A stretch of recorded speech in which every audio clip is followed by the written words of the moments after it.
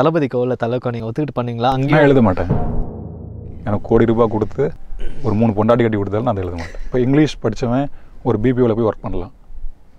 ஒரு எம்என்சியில் போய் ஒர்க் பண்ணலாம். தமிழ் படித்தவன் இலங்கை தமிழங்கிறதுல எனக்கு ஒரு பெரிய பெருமை தான்.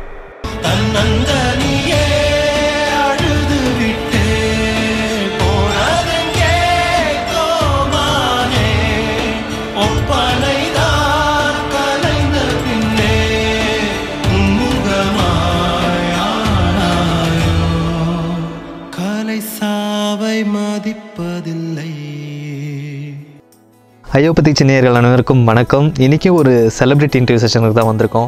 இன்றைக்கி யாரோட வந்திருக்கோம் அப்படின்னு கேட்டிங்கன்னா எனக்கு தெரிஞ்ச ரொம்ப கம்மியான தமிழ் வார்த்தைகள் எல்லாத்தையும் ஒன்றா சேர்த்து தமிழே பேசிகிட்டு இருக்கணும்னு தோணும் இவர் பேரை கேட்டாலே. எஸ் ரீசெண்டாக தமிழில் ரிலீஸ் ஆகி இண்டஸ்ட்ரியல் ஹிட் நைன்டி சிக்ஸ் படம் இருக்கு இல்லையா? அந்த படத்தில் எல்லா சாங்ஸ்க்கும் லிரிக்ஸ் எழுதினேன். மற்றும் இப்போ சீதகாதி படத்துலையும் சாங்ஸ் எழுதியிருக்காரு. திரு கார்த்திக் நேதா அவர்கள் அவர் தான் நம்ம கூட இருக்காரு. ஹாய்னா இருக்கீங்க? நல்லா இருக்கு நல்லா இருக்கு. இன்னைக்கு சீதகாதி ரிலீஸ்னா. நீங்கள் ஒரு பாடல் எழுதிருக்கீங்கன்னு. நினைக்கிறேன். எப்படி ஃபீல் பண்ணுறீங்க ரிலீஸை நினச்சி? அந்த பாடல் வந்து கேட்டு கேட்டு சலிச்சிருச்சு எனக்கு. நான் எழுதும் போதே ரொம்ப இதாக இருந்தது. எனக்கு என்னென்னா அந்த விஷுவல்ஸ் பார்க்கணுன்னு ஆசை. பாலாஜி தரணிதரன் வந்து ஒரு அப்பட்டமான சினிமாக்காரன் நல்ல பாசக்காரன் அவர். எங்கள் அண்ணன் மாதிரி அவர் வாழ்க்கையை வந்து ரொம்ப ஆழமாக பார்க்கக்கூடியவர் பாலாஜி தரணிதரன் அது இந்த படத்தில் தெரியும். கலை மேலே ரொம்ப காதலும் ஒரு பெரும் காமமும் கொண்டவர் அவர். அது இந்த படத்தில் முழுக்க முழுக்க வெளிப்பட்டிருக்கு. அந்த காட்சிகளை நான் பார்க்கணுன்னு ரொம்ப ஆர்வமாக இருக்கேன். பார்த்துருவேன் சீக்கிரம். உங்களை பற்றி ஆரம்பத்துலேயும் தெரிஞ்சுக்கணும்னு ஆசைப்பட்றேன் நான். நைன்டி சிக்ஸ்க்கு அப்புறம் கார்த்திக் நேதாவை பற்றின தேடல் அதிகமாகிடுச்சு அதுக்கு முன்னாடி சினிமா வாழ்க்கை உங்களுக்கு எப்படி இருந்தது? சினிமாவுக்கு வர்றதுக்கு முன்னாடி உங்களோட வாழ்க்கை எப்படிப்பட்டதாக இருந்தது? அதை பற்றி கொஞ்சம் சொல்கிறீங்களா நான் அடிப்படையில் வந்து சேலம் மாவட்டத்தில் பிறந்தேன். சின்னனூர்னு ஒரு கிராமம். எங்கள் ஊர்ல இருந்து இங்கிலீஷ் மீடியம் போன முதல் பையன் நான் தான். எங்கள் வீட்டில் இங்கிலீஷ் மீடியத்தில் படிக்க வச்சாங்க. என்னுடைய பள்ளி நாட்கள் எல்லாமே சிபிஎஸ்சி நான் central board of secondary education அங்கே தமிழை பேசக்கூடாதுன்னு சொல்லிட்டு ரூல்ஸ் உண்டு. தமிழை பேசினா ஒரு ரூபா ஃபைனு நான் வீட்டில் இருந்து ஒரு இருபது ரூபாய் காசு வாங்கிட்டு போய் காலையில் எட்டு மணிக்கு அங்கே கொடுத்துட்டு இருபது ரூபா தமிழை பேசுவேன். ஃபைன் கட்டிட்டு தமிழை பேசுவேன். அப்படி ஒரு தமிழ் மேலே ஆர்வம். ஓகே என்னோட தந்தை வந்து நல்ல தமிழ் நிறைய புத்தகங்கள்லாம் படிக்கக்கூடியவர். அவர் மூலமாக தான் தமிழ் ஒட்டிக்கிச்சு. அப்படி ஆரம்பிச்சது தான் தமிழ் பயணம். பிறகு ஒரு ஒன்பதாம் வகுப்பு படிக்கும்போது ஒரு லவ் தான் வருமே அந்த இளவு எப்போ பார்த்தாலும் வந்துடும்ல அந்த லவ் பண்ணும்போது லவ்வுக்கு ரொம்ப நெருக்கமானது மொழி கவிதை எல்லாம் பாடல் எல்லாமே. அந்த காதல் தோல்வியில் முடிஞ்சிருச்சு. அப்போ ரொம்ப நெருக்கமாக எனக்கு கூட வந்தது வந்து பாடலும் கவிதையும் தான். நிறைய பாடல்கள் தான். அது கண்ணதாசனோட பாடல்கள் டி. ராஜேந்திரோட பாடல்கள்லாம் ரொம்ப மனசுக்கு இதமாக இருக்கும். அந்த சோகத்தை வருடிவிடும். புண்ணை சொரிகிற மாதிரி சோகத்தை விட ஒரு சுகம் இருக்குல்ல? பிறகு ஒரு போராட்டத்துக்கு பிறகு வீட்டிலலாம் சண்டை கண்டெல்லாம் போட்டு ஓடி வந்து பிறகு மீண்டும் ஊருக்கு போய் வீட்டோட சம்மதத்தோட மீண்டும் சென்னை வந்து பாடல் எழுதலாம்னு ஆரம்பித்தது பாடல் ட்ரை பண்ணிகிட்டு இருக்கும்போதே வந்து கல்லூரியிலையும் படிக்க ஆரம்பிச்சிட்டேன். ஆமாம் பச்சை பாஸில். சைமண்டேனியஸாக அதுவும் போயிட்டு இருந்தது. அப்புறம் அப்படி தான் பற்றிக்கிச்சு எனக்கு ரொம்ப இன்ஸ்பைரான பாட்டுன்னு பார்த்தா கண்ணே கலைமானி மூன்றாம் பிறை படத்தில். ஓகே அதில் ஏழை என்றால் ஒரு வகை அமைதி ஊமை என்றால் ஒரு வகை அமைதின்னு எழுதியிருப்பார் கண்ணதாசன். ஒரு லெஜண்ட் இல்லை. அந்த மாதிரி இன்னும் யாரும் எழுத முடியாது. அது இன்னும் எனக்குள்ள வேறாக போய் போய் போய் பூத்துக்கிட்டு இருக்கு. லவ்லேருந்து வெளியே வர்றதுக்கு நீங்கள் கவிதை அந்த பாடல்லாம் ஹெல்ப் பண்ணிச்சுன்னு சொன்னீங்க. அந்த லவ் டேக்கப் ஆகிறதுக்கு இதெல்லாம் ஹெல்ப் பண்ணிச்சிங்களா உங்களுக்கு? அந்த நேரத்தில் நீங்கள் ப்ரப்போஸ் பண்ணீங்களா? இல்லை ஆமாம் அந்த பொண்ணு வந்து நான் நைன்த் படிக்கும்போது அந்த பொண்ணு பத்தாவது படிச்சுட்டு இருந்தாங்க. Oh okay. ஆமாம் அவங்க அந்த எக்ஸ்ட்ரா கரிக்குலம் சொல்லுவாங்கள்ல அந்த மாதிரி மற்ற விஷயங்கள்லாம் ரொம்ப ஆர்வமாக இருக்கிற பொண்ணு நான் டான்ஸ் பண்ணோம். அதை பார்த்து நான் வாங்கிட்டேன் இப்போ ப்ரப்போஸ் பண்ணேன். அப்போ வந்து நதியா ஜிமிக்கி நதியா வளையல் இதெல்லாம் ஃபேமஸாக இருந்தது. நமக்கு தெரில என்ன கிஃப்ட் பண்ணுன்ட்டு. நதியா ஜிமிக்கி தான் வாங்கி கொடுத்தேன். அப்போ அவள் அப்பயே அவள் கிரிக்கின்னு நினச்சிட்டா என்ன கிஃப்ட் பண்ணால் என்ன ஒரு greeting கொடுக்கலாம். நமக்கு அதெல்லாம் தெரில ஊர்லேருந்து வந்ததுனால. நதியா ஜிமிக்கி நதியா வளையல்லாம் வாங்கி கொடுக்குறேன். எப்படி உருப்பட போகிறான் அப்படின்னு சொல்லிட்டு எனக்கு ப்ரப்போஸ் பண்ணிட்டு அவள் இது பண்ணிட்டா. டேக்கப் பண்ணுறதுக்கு எதுவும் பண்ணல அவ்வளோதான் தமிழை ஆப்ஷனல் லாங்குவேஜாக வைக்கிறாங்க இல்லைங்களா? அதை பற்றி உங்களோட மைண்ட் செட் எப்படி இருக்குது தமிழ்நாட்டிலே தமிழ் வந்துட்டு நீங்கள் படிக்கணும் வேணும்னா அதை தேர்ந்தெடுத்துக்கலாம் இல்லை வேறு ஏதாவது மொழியை தேர்ந்தெடுக்கலாம் அதை பற்றி நீங்கள் என்ன நினைக்கிறீங்க? அரசாங்கம் வந்து கொஞ்சம் பொட்டையாக இருக்குன்னு தான் சொல்லணும். அன்னையிலேருந்து சரி இன்றைக்கும் சரி ஒரு தன்னுடைய லாபத்துக்காக தமிழ் பயன்படுத்துகிற தலைவர்கள் தான் இங்கே அதிகமாக இருக்காங்க. தமிழுங்கிறது ஒரு பெரிய பாரம்பரியம் மாதிரி ஒரு மொழி. அறம் சார்ந்து ஒழுக்கம் சார்ந்து எவ்வளோ விஷயங்கள் சொல்லியிருக்காங்க.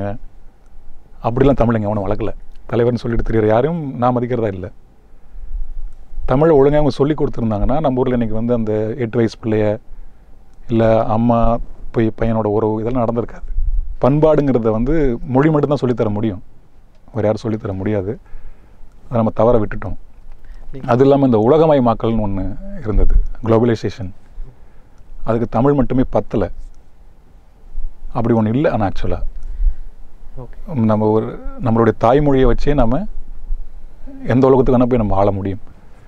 ஜாக்கி ஜானுக்கு வந்து அவரோட மொழியை தவிர அந்த மொழி தெரியாதுன்னு சொல்கிறாங்க அவன் உலகத்தையும் கலக்கிட்டு இருக்கான். அது மாதிரி நொண்டி சாக்கு சொல்கிறது தான் நம்ம அதிகம். அதுவும் இல்லாமல் தமிழுங்கிறது வந்து பிழைப்புக்கான மொழியாக இல்லாமல் நம்ம மாற்றிட்டோம் இப்போ இங்கிலீஷ் படித்தவன் ஒரு பிபிஓவில் போய் ஒர்க் பண்ணலாம். தமிழ் படித்தவன் ஒன்று திரைத்துறைக்கு வரலாம் இல்லையா வாத்தியாராக போகலாம் அப்படி தான் நம்ம குறுக்கி வச்சுருக்கோம். தமிழுங்கிறது நம்மளோட மொழி அது ஒரு சாதாரண மொழி இல்லை இங்கிலீஷில் ஒரு பேராசிரியர் சொல்லியிருக்காரு என்ன சொன்னார்னா இங்கிலீஷில் வந்து ஏ ஃபார் ஆப்பிள்னு சொல்லிட்டு ஒரு பொருளை மட்டும்தான் சொல்லியிருக்காங்க தமிழில் அ அறம் செய்ய விரும்புன்னு ஒரு ஒழுக்கத்தை சொல்லியிருக்காங்கன்னு சொல்லி அவர் சொல்லுவார். இது ஒரு மொழி இல்லை இது ஒரு வாழ்க்கை முறை ஒரு லைஃப் ஸ்டைல் தமிழ் மொழிங்கிறது தமிழுங்கிறது. அது பெற்றோர்களும் தவற விட்டுட்டோம். ஏன்னா பசங்க வந்து சம்பாதிக்கணும். சம்பாதிக்கிறதுக்கு எந்த மொழி கை கொடுக்குதோ அந்த மொழி நீ படிடா. நம்ம யாருமே வந்து என்ன சொல்கிறது வாழலை. இருக்கோம். சீதக்காதி வந்துட்டு விஜய் சேது சார் ரீசெண்டாக கொடுத்த ஒரு இன்டர்வியூவில் வந்துட்டு நடுவில் கொஞ்சம் பக்கத்துக்கான படம் பார்த்துட்டு வரும்போது எவ்வளோ ஜாலியாக வந்தீங்களோ அதோ அதே சந்தோஷத்தோட நீங்கள் படம் பார்த்துட்டு வரீங்க. இதுவே எங்களுக்கு ரொம்ப புதுசாக இருந்தவர் சொல்லும்போது. ஏன்னா ஃபுல்லாக ட்ரெய்லரில் எல்லாமே வச்சிருந்தது எல்லாமே ரொம்ப சீரியஸான படம் காட்டினாங்க நீங்கள் இன்டர்வியூவில் சொன்னது பார்த்தா என்னோட பாடல் ஒரு பாரத்தை கிரியேட் பண்ணும். அதை பா ஒரு ஃபீலை கிரியேட் பண்ணும் எமோஷனை கிரியேட் பண்ணும். எந்த மாதிரி ஒரு படமாக சீதக்காதியை நாங்கள் எதிர்பார்க்கலாம்? இது ஒரு நாடக கலைஞனோட வாழ்க்கை. ஒரு வயதான ஒரு நாடக கலைஞன். இன்னைக்கு இந்த சினிமா மற்ற நல்ல நிறைய என்டர்டெயின்மெண்ட் மீடியா வந்துருச்சு. அது எல்லாமே நாடகங்கிற ஒரு கலையை வந்து சாப்பிட்டுருச்சு.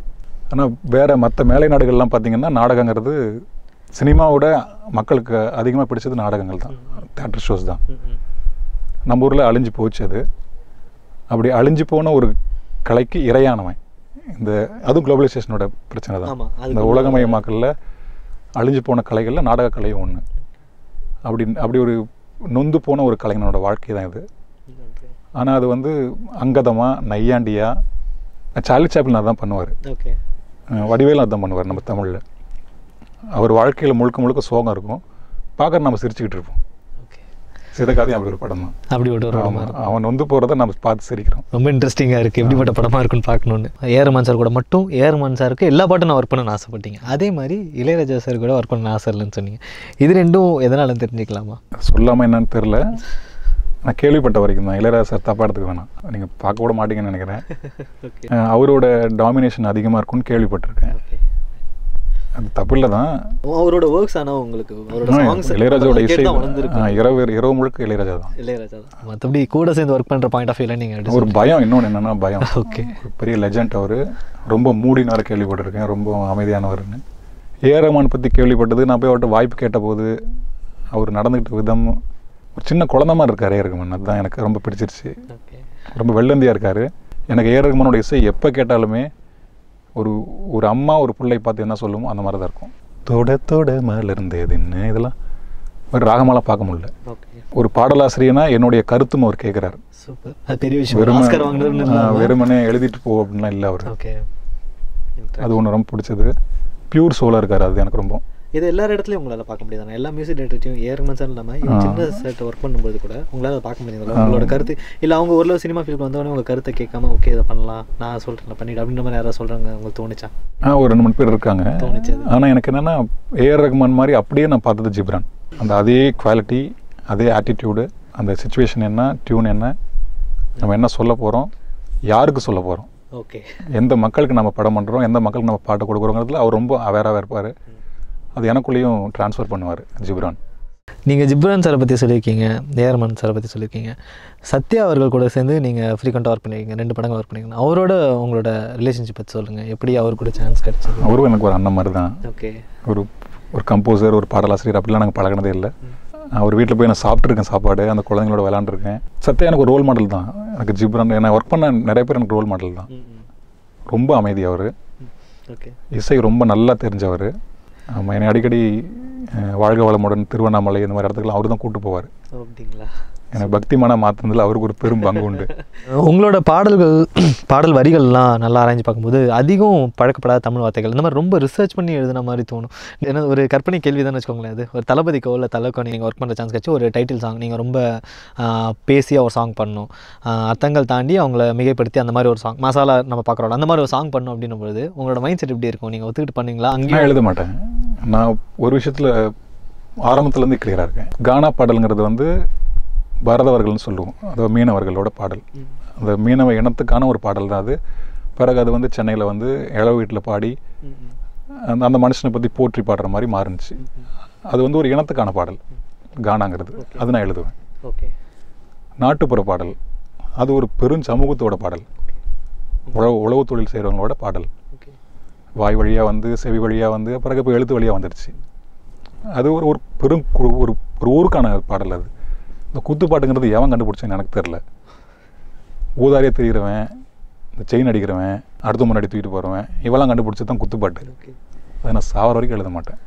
எனக்கு கோடி ரூபாய் கொடுத்து ஒரு மூணு பொண்டாட்டி கட்டி கொடுத்தாலும் நான் அதை எழுத மாட்டேன். வேணாம் அதில் எந்த இதுவும் இல்லை. ஓகே மக்கள் அதை ரசிக்கிறாங்க. ஆ. உண்மை அதுதான். அந்த நம்ம ரசிக்க வைக்கிறோம். வைக்கிறோம். அது நம்ம தப்பு தான். சினிமாக்காரங்க தப்பு தான் அது. ஓகே தங்க மீன்களை பார்த்து இதே மக்கள் தானே. ஆடுகளம் இதே மக்கள் தான் பார்த்துச்சு. நைன்டி சிக்ஸ் இதே மக்கள் தான் பார்த்துச்சு. நம்ம என்ன கொடுக்கணுமோ அதை தான் கொடுக்கணும். முக்கியமாக சொல்லணுன்னா கவிஞர் வாலி சொல்கிறது. அவர் நிறைய பேர்ட்ட சொல்லியிருக்காரு யாண்டி சொல்லியிருக்காரு நாம் ஒரு உயரத்தில் இருந்து மக்கள் அந்த உயரத்துக்கு கொண்டு போகணும். அவன் தான் பண்பட்ட ஒரு கவிஞன். மக்களோட இடத்துக்கு நீ இறங்கி போகக்கூடாது. நீ அப்போ கவிஞனே கிடையாதுன்னு சொல்லுவார். அவரோட கடைசி காலத்தில் சொல்லிட்டு போனார். நான் ரொம்ப திறந்த ஆளுந்தெல்லாம் வாழ்ந்திருக்கேன். கண்ணதாசன் சொன்னது போல எப்படியெல்லாம் வாழக்கூடாதோ அப்படியெல்லாம் வாழ்ந்திருக்கிறேன். அதனால் இப்படித்தான் வாழ வேண்டும் என்று சொல்லக்கூடிய யோக்கியது எனக்கு உண்டு. நம்ம சாமானிய மனிதர் எல்லாமே நம்ம கீழே தான் இருக்கோம். வக்கரமான புத்தியோட தான் நம்ம இருக்கோம். நம்மளை அப்படி தான் ஊட்டி வளர்த்துருக்காங்க. ஒரு படித்தவன் பண்பட்டவன் அப்படின்னா மேலே கொண்டு வந்து வைக்கணும். முடிஞ்ச வரைக்கும்.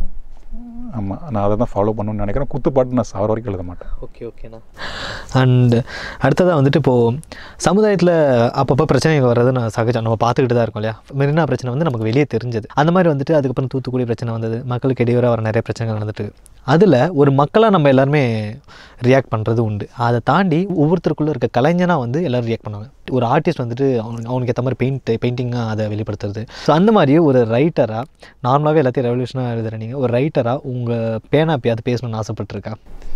எனக்கு என்னென்னா சமூகத்தோட அடிப்படையான பிரச்சனைகள் எழுத்து மூலமாக தீர்வு காண முடியாதுங்கிறதுல நான் ஒரு நம்பிக்கை கொண்டவன். ரொம்ப பெரிய பிரச்சனைகளுக்கு அது இல்லை களப்பணியில் இறங்கணும் நான் இறங்குறது. எந்த ஒரு கவிஞனாகட்டும் கலைஞனாகட்டும் அந்த ஸ்பாட்டில் நம்ம இருக்கணும். அங்கே அப்போ கொஞ்சம் பேனாவை தூக்கி வச்சிடணும் வெளியே. இப்போ கஜா புயலுக்கு நான் உட்காந்து கவிதை எழுதிட்டு இருந்தேன்னா அந்த புயல் வத்திட்டு போதா என்ன? ஆமாம் ஒரு ஒரு கவிஞன் ஆமாம் ஒரு கவிஞனோ ஒரு கலைஞனோ கைமீறி போன ஒரு பிரச்சனைக்கு கையில் பேனா வச்சுக்கூடாது தூக்கி வச்சுட்டு பிரச்சனைக்குள்ள ஓடிடணும். ஓகே. என்னோட இது அது. ஒரு மனுஷனாக மாறிடணும் அந்த இடத்துல. ஆமாம் அங்கே போய் இறங்கணும். சின்ன சின்ன பிரச்சனைகள் பேனால் எழுதி கொடுக்கலாம் ஒன்றும் இல்லை. நீங்கள் வந்துட்டு ஏற்கனவே ஒரு இன்டர்வியூவில் ஸ்ரீலங்கா அப்படின்னு சொல்லி சொல்லியிருந்தீங்க இல்லையா? அதை பற்றி தெரிஞ்சுக்கலான்னு அது நானும் கூட கேள்விப்பட்டது தான் பூர்வீகம் அப்படின்னு சொல்லியிருக்காங்க.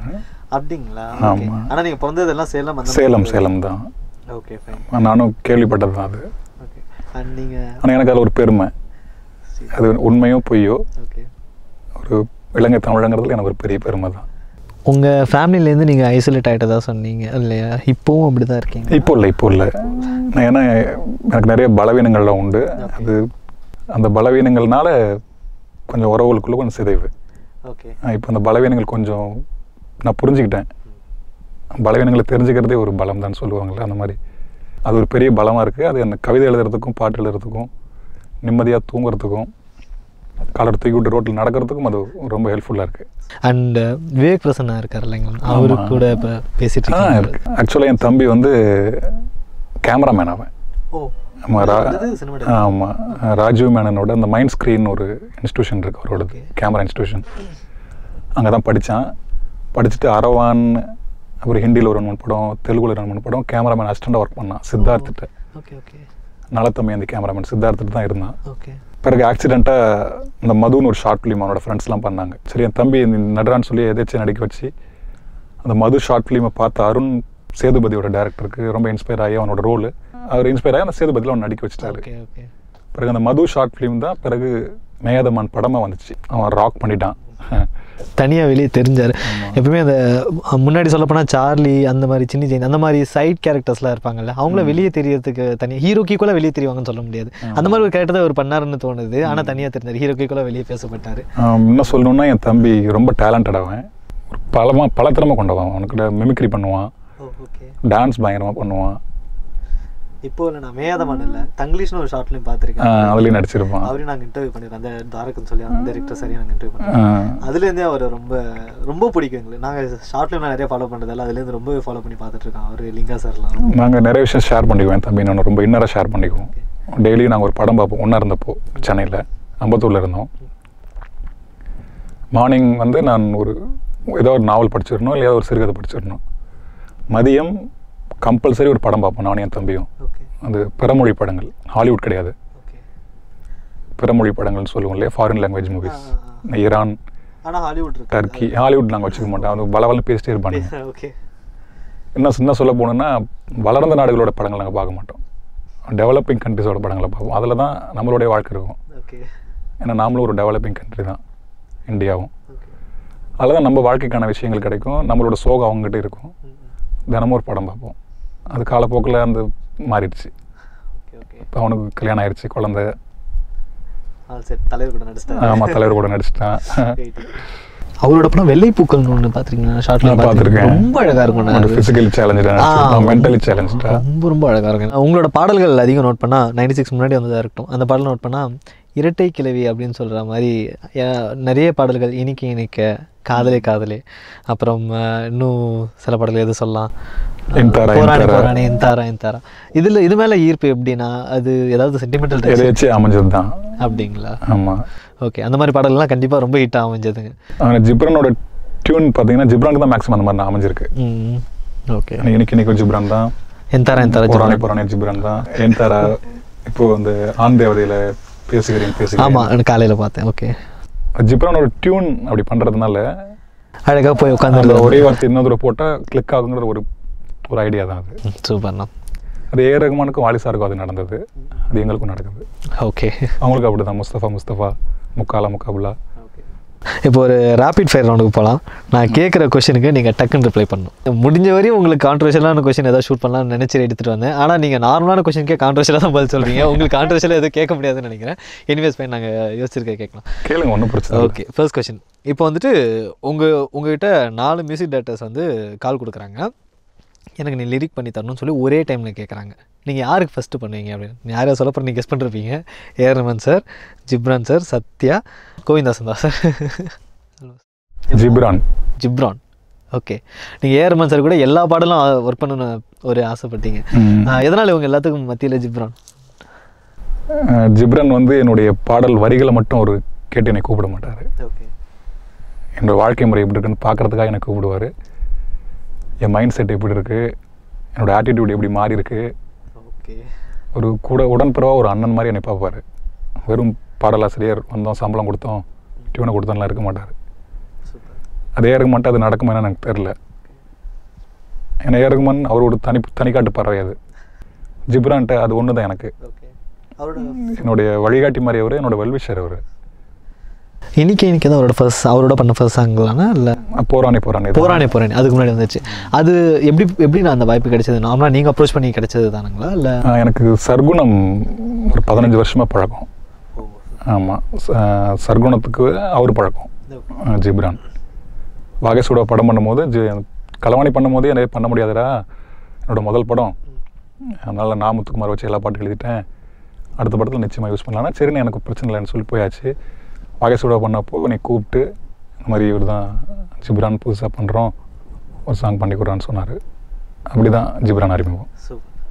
இப்போது நீங்கள் வெளியே தெரிய ஆரம்பிச்சதுக்கப்புறம் உங்கள் பாடல்கள்லாம் ஹிட் ஆக ஆரம்பிச்சதுக்கப்புறம் உங்கள் கூட இருக்க சக லிரிசிஸ்ட் அவங்க எழுதின பாடல்களில் உங்களை ரொம்ப கவர்ந்த பாடல் நீங்கள் ரொம்ப ஆழ்ந்து கவனித்த பாடல் அப்படின்னு எதை சொல்லணும்னு ஆசைப்பட்றீங்களா? நிறைய இருக்குது அது. சக பாடலாசிரியர்னு சொல்ல முடியாது. நான் பொதுவாகவே சொல்கிறேன் எனக்கு கபிலனோட லிரிக்ஸ்லாம் ரொம்ப பிடிக்கும். அது யூனிக்காக இருக்கும். ஒரு கானா பாடலாவே ஆகட்டுமே அவர்கிட்ட ஒரு ஒரு பொய்டிக் டச் இருந்துகிட்டே இருக்கும். ரொம்ப இன்ஸ்பயர் இன்ஸ்பைரிங்னு சொல்லலாம் அவரோட நிறைய வார்த்தைகள். இந்த கூந்தல்ங்கிறது வந்து மீசையோட குழந்தைன்னு ஒரு சாங் எழுதியிருப்பாரு. அஹ் ஒவ்வொரு பற்களிலும் சிரித்தேன். கற்கண்டை தூக்கி கொண்டு நடந்தேன் சிறிய எறும்பாய். அது ஒரு மாதிரி சிலுக்க வச்சிருவாரு. நிறைய சாங் சொல்லலாம் போயிட்டே இருக்கும். அஃப்கோர்ஸ் நான் முத்துக்குமார் என்னோட குருநாதர். அவரோட லிரிக்ஸ் எவ்வளோ வேணால் சொல்லலாம். அட்மையர் பண்ண ஒருத்தர். ஓகே போகாதே போகாதே இந்த தீபாவளி படத்தில் ஒரு சாங் இருக்கும். யாரின்று நீயும் என்னை பார்க்கும்போது உயிரே உயிர் போகுதடி. கல்லறையில் கூட ஜன்னல் ஒன்று வச்சு உன்னை பார்த்துக்கிட்டு இருப்பேன். அதெல்லாம் சான்ஸே இல்லை. அப்புறம் இருட்டில் நீ நடக்கும்போது உன் நிழல் உன்னை விட்டு போயிடும் இது சொல்லிட்டே போகலாம் அந்த மாதிரி. தாமரை அக்கா ஓகே ஆமாம் செல்லக்கா இது எங்களுக்கு அவங்க. அவங்க லிரிக்ஸும் இந்த அனல் மேலே பனித்துளிலாம் சான்ஸே இல்லை. ஜிஎம் சார் கூட எல்லா சாங்ஸும் அவங்க கொடுத்த ஹிட் தான் இல்லையா? நிறைய வரிகள் இருக்கு. இப்போ யுகபாரதி அண்ணன்ட்ட அந்த காதல் பிசாசை பாட்டெல்லாம் அப்படி இருக்கும். என் தாயோடும் பேசாத மௌனங்களை நீயே தந்தாய். நான் யாரோடும் பேசாத வெட்கத்தை நீயே தந்தாய். இதெல்லாம் அவ்வளோ அழகு. அப்புறம் எங்களுக்கெல்லாம் ஆண் தாயாக இருக்கிற அறிவுமதி அண்ணன் அவரோட லிரிக்ஸ்லாம் பின்னி பெடல் எடுத்திருக்காரு அவர். அவர் அவரெல்லாம் உள்ளுக்குள்ளே இருக்காரு. அவர்லாம் உள்ளே எறியறதுனால தான் நாங்கள் கொஞ்சம் வெளியே தெரியிறோம். அவர் லிரிக்ஸில் நிறையா இருக்குது என்னென்னா நிறைய லிரிக்ஸ் சொல்லலாம். அது முத்தமிழே முத்தமிழேன்னு ஒரு சாங் இருக்குது ராமன் அப்துல்லா படத்தில். ஓகே. நாணக்குடை நீ பிடித்தும் வேறு வரைக்கும் சாரல் மலை. மின்னல் சிந்தி சிரித்தாள். இந்த மாதிரி தெருக்கி விட்டுருவார் அண்ணன். ஆமாம் ஆமாம் நம்ம அந்த ஃபேண்டசி ஃபீலோட டச்சோட பொய் சொல்லக்கூடாது காதலி. அந்த சாங்லாம் பயங்கரமாக இருக்கு லிரிக்ஸ் எல்லாம். ஆமாம் சூப்பர்ண்ணா. So coming back to rapid fire round அது போயிட்டு இருந்தோம் நான் அப்படியே வந்து ஃப்ளோவில் நம்ம கொஸ்டினுக்கு போயிட்டோம். ஸோ உங்களுக்கு வந்து அதே மாதிரி தான் ரெண்டு டேரக்டர்ஸ் உங்களுக்கு ஒரே டைமில் கால் பண்ணுறாங்க யாரை நீங்கள் வந்துட்டு யாரோட லிரிக் நீங்கள் ஃபஸ்ட்டு ஓகே பண்ணீங்க? பிரேம் சார் பாலாஜி தண்டரன் சார் ரெண்டு பேர்ல சிக்க யாரோட கால் நீங்கள் யாருக்கு வந்து ஃபஸ்ட் லிரிக் பண்ணி பண்ணி கொடுப்பீங்க நீங்கள் பாலாஜி தரணிதரன் பாலாஜி எதனால்? பாலாஜி அண்ணன் மூலமாக தான் எனக்கு பிரேம் பழக்கம். அப்படி சிம்பிளாக ஆமாம் ஓகே என்னதான் இருந்தாலும் இன்னொரு விஷயம் நீ எனக்கு முதல்ல எழுதலையே அப்படிங்கிற அந்த ஈகோ கிளாஷ் வந்து அவங்களுக்குள்ள கிடையாது. ஓகே ரொம்ப ஃப்ரெண்ட்லி அவங்க. ஸோ தைரியமாக யார் பேர் நான் ஃபஸ்ட் சொல்லலாம் அப்படின்ற மாதிரி. சூப்பர்ண்ணா அவங்களுக்குள்ள அந்த கிளாஷே கிடையாது. ரொம்ப மெச்சூர்டான ஃப்ரெண்ட்ஷிப் அவங்களுக்கு. அவங்க என்னை தூக்கிட்டு வராங்க அதனால் அவங்க ரெண்டு பேரில் யார் என்னை தூக்குனா நான் தான் மேலே போக போகிறேன் அதனால் அது அது அவங்களுக்கு தெளிவாக இருக்காங்க நானும் அதில் தெளிவாக இருக்கேன். ரெண்டு ப்ராஜெக்ட் அட் டைம் கிடைக்குது. ஒன்று என்னன்னு பார்த்தா மெலோடி பேஸ்டு சாங் அப்படின்ற மாதிரி நீங்கள் கம்போஸ் பண்ணுறதுக்கான ஒரு வாய்ப்பு கிடைக்குது. அதே சமயத்தில் ஒரு ஒரு ஃபாஸ்ட் பீட்டில் ஒரு ரெவல்யூஷனரி என்ன சொல்ல ரிவெஞ்ச் பேஸ்டாக நீங்கள் ரத்தா ரத்தி சாங் சாங் பண்ணிருப்பீங்க ஆசீர்வாதம்ல. அந்த மாதிரி ஒரு சாங் கிடைக்குது. இது ரெண்டில் எதை நீங்கள் ப்ரிஃபர் பண்ணுவீங்க ஃபர்ஸ்ட் பண்ணுறதுக்கு அது என்ன எப்படி இது எடுத்துக்கிறேன்னா நிறைய ரெவல்யூஷனரியான சாங் வந்து மெலோடியாக இருந்திருக்கு. அந்த எக்ஸாம்பிளுக்கு கணத்தில் முத்தமிட்டால வெள்ளை பூக்கள் ஒன்று வந்து இந்த உலகம் நல்லா இருக்கணும்னு சொல்கிற அது ஒரு ரெவல்யூஷன் தான். அது சாஃப்ட் வே ஆஃப் ரெவல்யூஷன் அது. அது ஒரு மெலோடி தான். ஸோ மெலோடி டியூன் தான் கார்த்திக் நேதா சாருக்கு ரொம்ப பிடிச்சதுன்னு எடுத்துக்கலாமா? அப்படி இல்லை. புரட்சி அப்படி இப்படின்னு அந்த வார்த்தைகளே ரொம்ப கிளிஷாகவே போச்சு. நான் அதை சொல்ல விரும்பலை. என்னுடைய வரிகள் மூலமாக ஓகே. நான் கடந்து வந்த அனுபவத்தை அது வாழ்க்கை அனுபவத்தை. காதலை மட்டும் இல்லை காமத்தை மட்டும் இல்லை நட்பை மட்டும் இல்லை இந்த வாழ்க்கை தரம் இப்படி மாறி போச்சே அப்படிங்கிற அந்த கோவத்தை சொல்லக்கூடிய பாடலாக இருக்கணும். அது ரெவல்யூஷன் சொன்னாலும் சரி என்ன வார்த்தை சொன்னாலும் சரி. ரொம்ப நாளைக்கு பிறகு நான் எழுதின படம் தான் அந்த அசுரவதம். அதில் எந்த பாடல்லையுமே காதல் இருக்காது பார்த்தீங்கன்னா அன்பு இருக்கும் பேரன்பு இருக்கும். ஒரு கணவன் மனைவிக்குள்ளே இருக்கிற அன்பு இருக்கும். ஒரு அப்பாவுக்கும் மகளுக்குள்ளேயும் ஒரு அம்மாவுக்கும் மகளுக்குள்ளேயும் இருக்கிற அன்பு இருக்கும். இந்த வாழ்க்கை வந்து பணத்தை தேடி ஓடு ஓடு ஓடுன்னு துரத்தி ஒருத்தன் துபாய்க்கு போய் சின்ன பின்னமாகி இங்கே திரும்பி வரும்போது குடும்பமே செதஞ்சு போயிருக்கும். நம்ம தமிழகத்தில் பெரும்பான்மையான குடும்பங்கள் இப்படி தான் இருக்குது. ஒரே பெட்டில் படுத்துக்கிறோம் ஆனால் ஒவ்வொரு உலகத்தில் இருக்கிறோம். அப்படி தான் வாழ்ந்துக்கிட்டு இருக்கோம் வெளிவேஷம் போட்டுக்கிட்டு இருக்கோம். இந்த திரையெல்லாம் கிழிக்கிறதுக்கு யாரோ ஒரு இயக்குநர்கள் படம் பண்ணி என்னை கூப்பிட்டாங்கன்னா நான் என்னோட கொந்தளிப்பில் நான் வெளிப்படுத்துவேன். இப்போ நம்ம இருக்கிற காலகட்டத்தில் நமக்கு காதலும் காமமும் பெருசு இல்லை. அது காலம் முழுக்க அது இருக்க போகுது. நம்மளோட தேவை இன்றைக்கி வந்து மனுஷனை மனுஷன் அடிச்சுக்காமல் இருக்கணும். ஏன் அடிச்சுக்கிறேங்கிற காரணத்தை நமக்கு புரிஞ்சுக்கணும் நாம. நம்ம இயக்கப்படுறோம். சாமானிய மக்களான நீங்கள் நான் எல்லாம் யாரோ ஒரு நாலு பேரால் இயக்கப்படுறோம். அந்த நாலு பேரோட தனிப்பட்ட சந்தோஷத்துக்காக நாம் இரையாக்க போடுறோம் அதை புரிய வைக்கிறதுக்கான பாடல்கள் எனக்கு கொடுத்தாங்களே சந்தோஷம் படங்கள் பண்ண சந்தோஷம். கொஞ்ச நாளைக்கு காதலும் தூக்கி வரணும் வைக்கலாம். காதலும் வேணும்னா அது மட்டுமே இல்லையே. அது எப்படி வராமல் இருக்க போகிறது இல்லை என்ன எதுவும் சொன்னாலும் அது தானா. வந்துடும் வந்துரும். வயசு வந்துருச்சுன்னா வந்துடும் ஹார்மோன் கிளறிச்சுன்னா வந்துடும் ஆஹ் உங்களோட வரிகளில் இவங்களோட இவங்க நான் சொல்ல போகிற ரெண்டு பேரோட வாய்ஸில் பாடல் ரொம்ப அழகாக வந்துச்சு அப்படின்னு யாரை நீங்கள் நினைக்கிறீங்க? ஹரிஹரன் சாரா சின்மயி மேமா இவங்க ரெண்டு பேரோட உங்கள் வரிகள் யார் ரொம்ப அழகாக போர்ட்ரே பண்ணாங்க வெளியே? சின்மை சின்மயி. ஓகே எதனால்? உங்களுக்கு காதலி காதலி தான் சொல்கிறீங்களா அவங்க ஆனால் இன்னொரு சாங் பாடியிருக்காங்கன்னு நினைக்கிறேன். அது ஓகே ஃபைன் காதலி காதலி உங்களுக்கு ரொம்ப பிடிச்சிருந்தது அப்படிதான்? இல்லை எனக்கு சின்மை அந்த ஃபர்ஸ்ட் பாட்டில் இருந்து எனக்கு ரொம்ப பிடிச்சிருச்சு அவங்கள. ஓகே அந்த ஒரு தெய்வம் தந்த பூவே. அந்த மாதிரி ஒரு பாட்டு பாடின பொண்ணு தான் வந்து மையா மையா பாடினாங்களா? இவள் முத்தம் தின்பவள் பாட்டு குரு படத்தில். குரல்லையே உடை மாற்றிக்கிறாங்க அவங்க. குரலுக்கு உடை மாற்றல் பொண்ணு அந்த மாதிரி பாடுறாங்க இந்த மாதிரி பாடுறாங்க. அந்த ஆவாரம் பூன்னு ஒரு சாங் இருக்கும் பூ படத்தில். ஓகே அந்த பாட்டு நான் இப்படி ஒரு நூறு தடவை கேட்டிருப்பேன் அந்த படம் வந்த அன்னைக்கு. அது ஏதோ ஒரு மேஜிக் இருக்கு அவங்க குரலில். அதனால் அவங்க என் பாட்டு பாடினதுக்காக மட்டும் இல்லை. அந்த அந்த காதல் எனக்குள்ளே ஒரு ட்ரிக் பண்ணி எனக்குள்ளே ஏதோ ஒரு கவிதை கொடுக்குது. அதனால் ஒரு செல்ஃபிஷாக தான் அவங்க குரல் பிடிச்சிருக்குன்னு சொல்கிறேன் ஓகேண்ணா. லாஸ்ட்டாக ஒரே ஒரு ரிக்வஸ்ட் ஒரு கொஷினில் உங்களுக்கும் ரொம்ப பிடிச்ச விஷயமா தான் இருக்கும்னு நினைக்கிறேன். நாமுத்துக்குமார் சாருக்காக ஒரு போயம் ஒரு கவிதை. ஐயோ உடனே இப்படி சொல்கிறேன் நீங்கள் ஏதாவது யோசிச்சிருந்தீங்கன்னா இல்லை அவருக்கு ஏதாவது அவர் மிஸ் பண்ணுறீங்க ஏதாவது ரொம்ப மிஸ் பண்ணுறேன் அவரை. நாமுத்துக்குமார் அண்ணனை பற்றி நினச்சா முதல்ல எனக்கு கவிதை வராது கண்ணு தண்ணி தான் வரும். ஏன்னா எப்படி சொல்கிறது நான் எனக்கு ஒரு நல்ல அட்வைசர் அவர். அவர் படிக்கிற புத்தகங்கள் இல்லை அவர் கேள்விப்படுற புத்தகங்கள் எல்லாம் எனக்கு கொண்டு வந்து கொடுத்து அலுவலகத்தில் உட்காந்து படிக்க வச்சு அழகு பார்த்தவர் அவர். ஒரு பாடல் இப்படி தான் எழுதணும். கண்டினியூட்டி இருக்கணும். ஒரு ஸ்கிரிப்டுக்கு எப்படி கண்டினியூட்டி இருக்கோ அதே மாதிரி ஒரு சாங் கண்டினியூட்டின்னு சொல்லி சொல்லி கொடுத்தவர் அவர் தான் இன்னும் முக்கியமாக பார்த்தீங்கன்னா எளிமையாக இருக்கணும் பாடல். உன்னுடைய மேதாவித்தனத்தை பாடலில் காமிக்காதே. அது எனக்கு கடைசி அவர் சொல்லிட்டு போன விஷயம் அதுதான். இன்னொன்று சினிமாக்குள்ளே சொகுசாக இருக்க ஆசைப்படாது. நீ உழைச்சி தான் ஆகணும். இது மற்ற ரிட்டையர்ட் இல்லாத ஒரு ஃபீல்டு இது. அது எழுத்துங்கிறது பேனா முனை உடைஞ்சாலும் மூளையோட முனை உடையாதுன்னு சொல்லுவார் அவர். மூளையோட மூளையோட முனை உடையாதுன்னு சொல்லிருக்காரு என்கிட்ட. பேனா முனை உடஞ்சிரும். அதனால் நீ பண்ணிக்கிட்டே இருக்கணும். அதே மாதிரி மௌனிங்கிற ஒரு எழுத்தாளர் இருக்கார். தமிழில் ஒரு பெரிய எழுத்தாளர் அவர். அவர் அவருக்கு ரொம்ப பிடிக்கும் எனக்கு ரொம்ப பிடிக்கும். அவர் சொன்ன குவாட் வந்து அடிக்கடி நாங்கள் பேசிக்குவோம். நாமத்துக்குமரன் நானும். சின்ன விஷயம் தான் அவர் சொல்லிட்டு போயிருக்காரு. பிரங்கனை சுடர் மாறி எரிஞ்சுக்கிட்டே இருக்கணும். அதை நாமத்துக்குமரன் கடைசி வரைக்கும் ஃபாலோ பண்ணார். கான்ஷியஸ்னஸ் வந்து கான்ஷியஸ்னஸாக தான் இருக்கணும். அது அன்கான்ஷியஸ்குள்ளே போகக்கூடாதுன்ட்டு. அதில் இன்றைக்கி நான் எழுதிட்டு இருக்கிறேன். கொஞ்சம் நல்லா நீங்கள் பாராட்டுறீங்க. நல்ல வரிகள்லாம் வருது அப்படின்னா அதுக்கு ஆணிவேர் போட்டவர் அவர் தான் ஒரு விதை போட்டு விட்டவர் ஆமாம் அவ்வளோதான் சொல்ல வருது. ஓகேண்ணா. எனிவேஸ் தேங்க்யூ ஐயோ பத்திக்கிச்சே வியூவர்ஸ் ஐயோ பத்திக்கிச்சே யூடியூப் சேனலில்.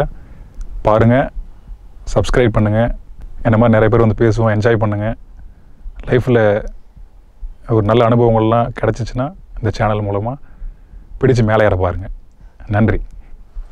தேங்க்யூ தேங்க்யூ பார்க்கலாம். என் அன்பு நா முத்துக்குமார் எந்த முழுமையின் எளிய வடிவம் நீ?